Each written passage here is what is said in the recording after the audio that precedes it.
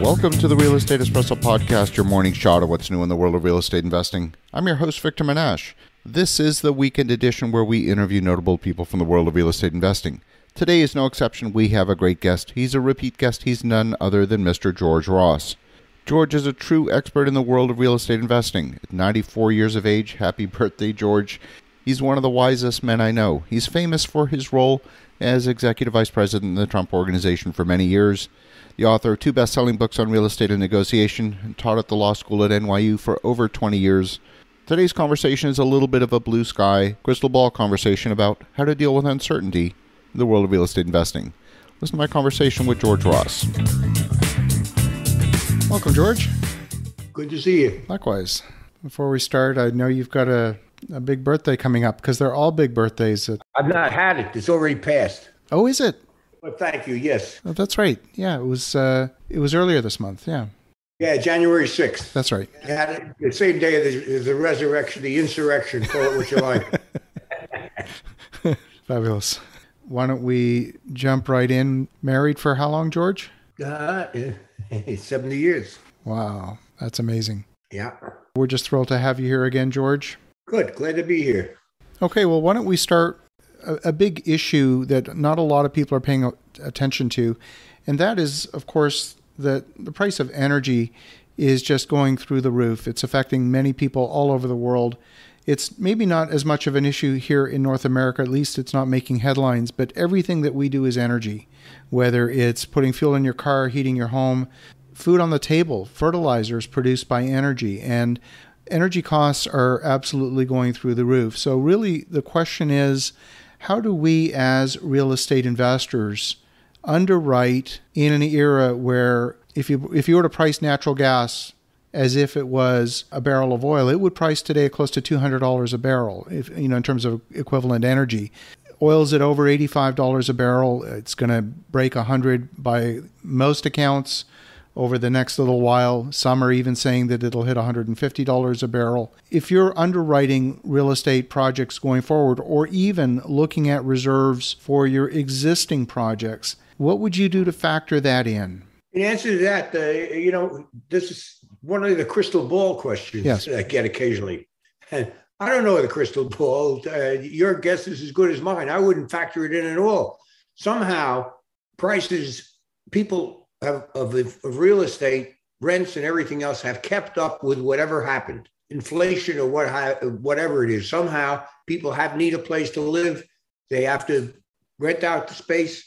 They have to get a job the employers will have to pay a little more, but somehow it, it works out. And and uh, still you have an economy which would be which is which is fairly strong. So I don't I'm not a, a fan of speculation. Uh, I've seen too many times people speculate. Well, business is going to go down. Business is going to go up. Real estate is going to go up. Real estate is going to go down. And they're so busy looking to, figure out what may happen that they are not taking advantage of what is happening. So I'm just, uh, you know, I, I can understand the concern, but what are, what are you going to do about it? Nothing. So then why get concerned? It's not something that's affecting my portfolio any longer. I mean, at one time, I, I owned a portfolio of properties in the Chicago market, and one of the artifacts in that market, in particular, in that uh, segment of the market, is we often uh, included heat and cooking gas as part of the rent. Should, they got to eliminate that. Absolutely.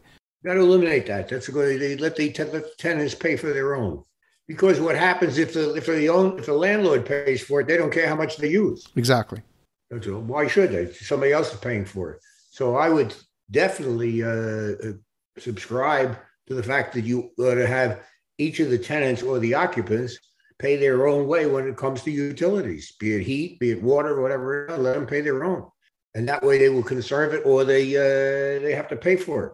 So that's a good way to slow down energy is just make it more expensive so that people are concerned and they won't use it. If they can pass the cost off to somebody else, of course, why not? Who cares? Yeah, absolutely.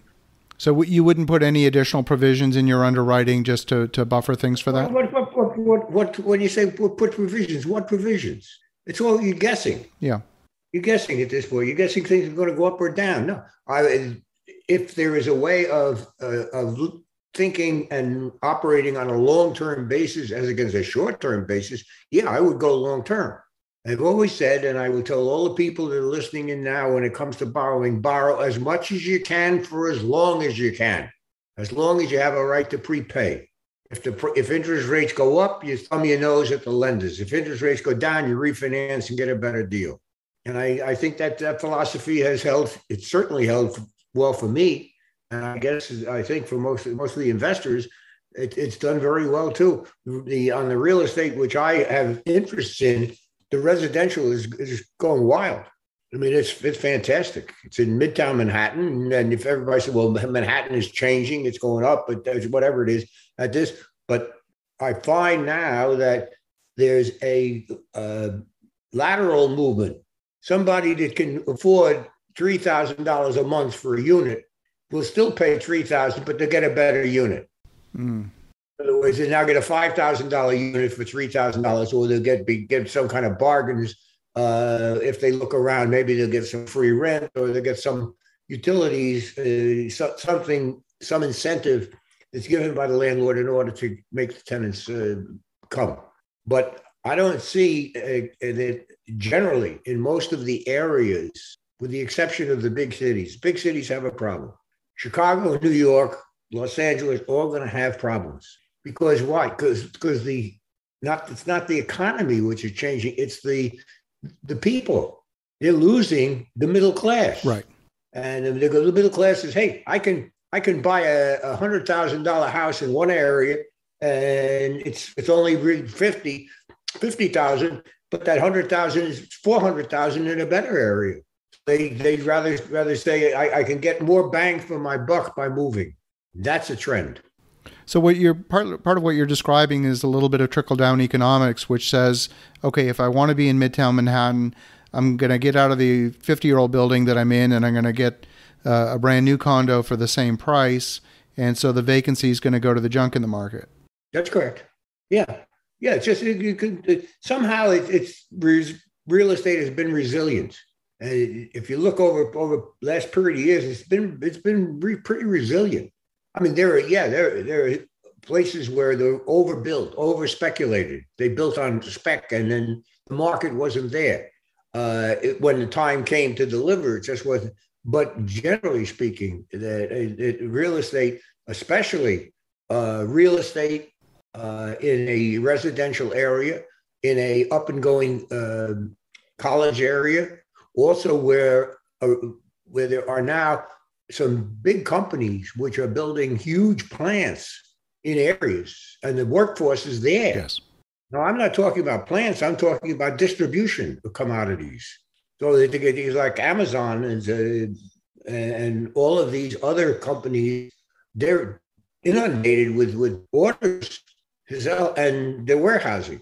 So what you have is you have a, a streamlining of the process of, of operating a business, and that's good. So will they operate with less people? Probably. Will they operate with more machinery? Probably. But you but this is capitalism. Find out how to make more money spending less dollars on the production. And, and the entrepreneurs uh, that, that, are aware of it are, are concerned about that and say, okay, how do I get a better workforce? And maybe I don't have, maybe they don't have to come in six days a week. Maybe I don't need a big office maybe I can. How much can I do virtual?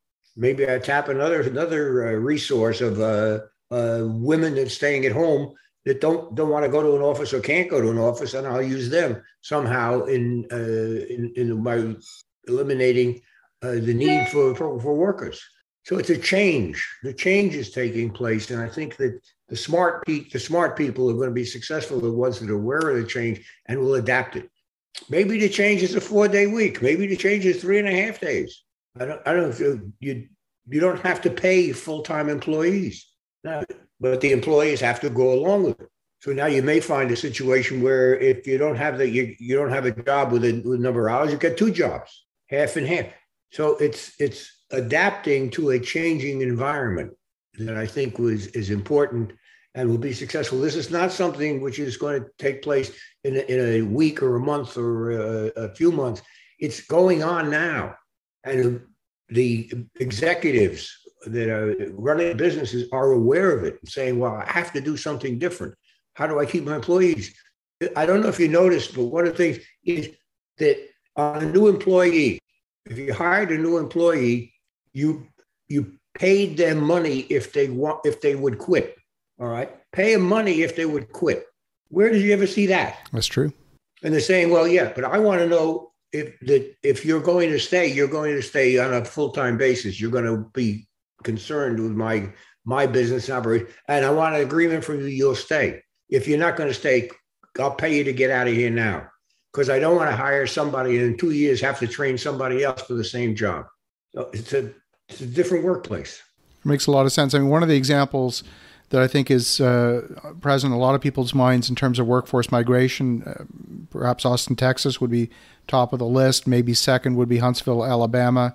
You've got Toyota, you've got Mazda, uh, all of these auto manufacturers, right? Yeah, absolutely. And then you have a you have a, a an idiot situation where uh, they wouldn't wouldn't uh, let Amazon build a two million two million square foot warehouse in in, in New York. I mean, I don't understand that. You have to go out and solicit businesses, which the a lot of the communities are. Austin is a perfect is a, is a great example uh, of a of a community that wants to uh, attract businesses, and they are. So when the first move went to Plano, Texas, everybody said, "Where is Plano?" you know. I love my conversations with George. He brings such wisdom and perspective in dealing with navigating uncertain times, and we certainly are living in uncertain times. His message is simple uncertainty is a fact of life. You got to deal with it and make the best of it. As you think about that, have an awesome rest of your day. Go make some great things happen. We'll talk to you again tomorrow.